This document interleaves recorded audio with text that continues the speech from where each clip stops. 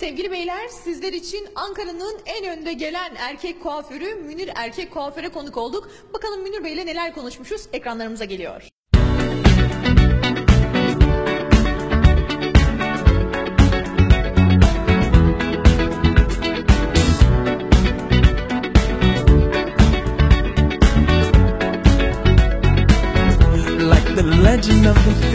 Sevgili izleyicilerimiz Ankara'daki yolculuğumuza devam ediyoruz. Biliyorsunuz ki hanımların güzellik sırlarını sıklıkla ekrana taşıyoruz. Ama son zamanlarda e, beyler de kişisel bakımlarına epeyce önem veriyor. Yanımızda da Ankara'nın en meşhur kuaförlerinden bir tanesi Münir Beyefendi var. Nasılsınız efendim? Teşekkür ediyorum. Hoş geldiniz Ankara'mıza. Hoş bulduk.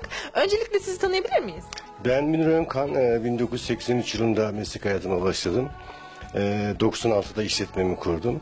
96'dan bu yana dinleme, anlama, algılamayla ilgili e, vücudun en büyük aksesuarının saç kesimi olduğunu düşünerek hizmet vermekteyim. Evet.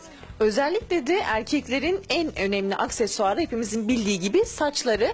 Siz diğer kuaförlerden farklı hizmetler veriyorsunuz burada aynı zamanda. Ne gibi hizmetleriniz var?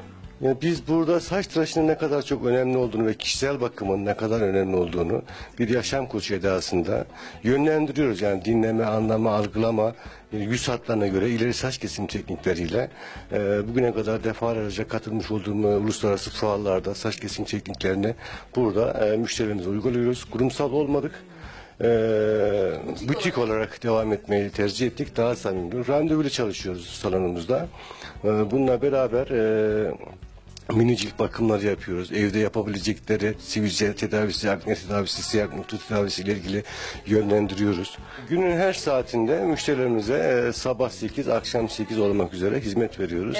Sizin aynı zamanda müşterileriniz e, farklı protokolden olsun, öğretim üyeleri olsun değil mi? Aynı zamanda e, bu şekillere hizmet veriyorsunuz. Yani siyasilerden gelenlerimiz e, çok oluyor. Daha çok öğrenci e, Ankara metropol şehir her türlü e, bakanlıklardan, e, üniversitelerden öğrencilerimiz, müşterilerimiz var. Bunlarla gönül birliği yapıyoruz. İyi günlerinde, kötü günlerinde her daim beraber oluyoruz biz bunlarla. Sadece tıraşta kalmıyoruz. E, Aynı zamanda biz burada e, bir takım e, e, toplumsal faaliyetler de yapıyoruz. İşte no var dedik, savaşa hayır dedik efendime, sensiz asla dedik, Atatürk'ü yaptık, efendime söyleyeyim.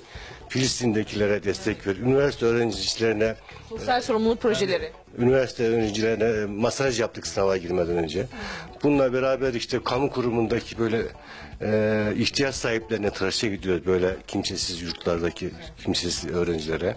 E, huzur evlerine, bakım evlerine. Her ayın son pazar günlerinde kendimizi onlara ayırıyoruz. Münir Bey e, son olarak buradan sevgili izleyicilerimize, sizi tercih edenlere ya da tercih etmek isteyenlere neler söylemek istersiniz?